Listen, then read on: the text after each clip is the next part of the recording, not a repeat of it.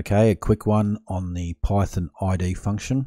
Okay, the Python ID function returns the memory address of an object. It actually returns the memory address of anything that can be used in Python. Now, I've been using the ID function to test whether objects are considered unique in Python or as a new instance. A quick example, I've got a new script here, test.py in the root of my project. I don't have anything in it, but I can print the ID of something. I'm just going to create a quick class called test with a value in it I'm going to print the ID of that class. Print ID of test.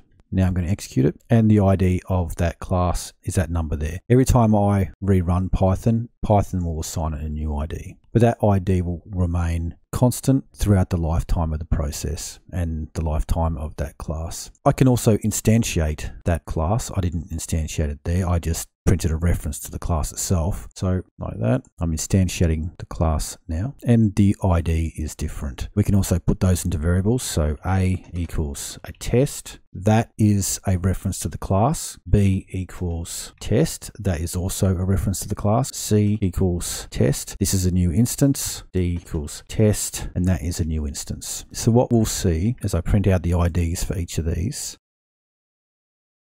is that the first two have the same ID. They are references to the class, and these next IDs are references to instances of the class. Now, we can also test the IDs of the methods or attributes in a class. So let's do that just setting A, B, C, D, etc. to be the value attribute now. now. I'm going to print the ID of that value attribute. And they actually all point to the same thing they will all point to the same value as 1 also. we go 20. They all equal the same thing. So Python considers one test value, an instance of test value, another instance of test value all equaling the same thing. So ID is good to know whether something is unique or not. If I was to create a init method inside this class, define init self and just pass. I can also print out the ID of the init method there, comment those out. I'm going to say C equals a reference to init and both instances init methods point to different memory locations. Let's create something custom like method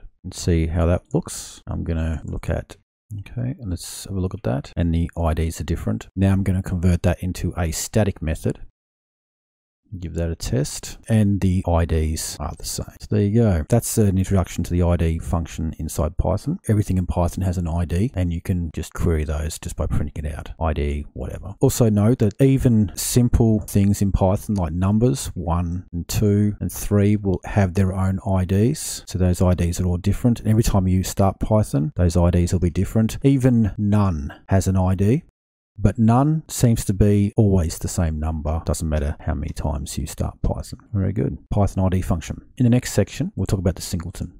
Excellent.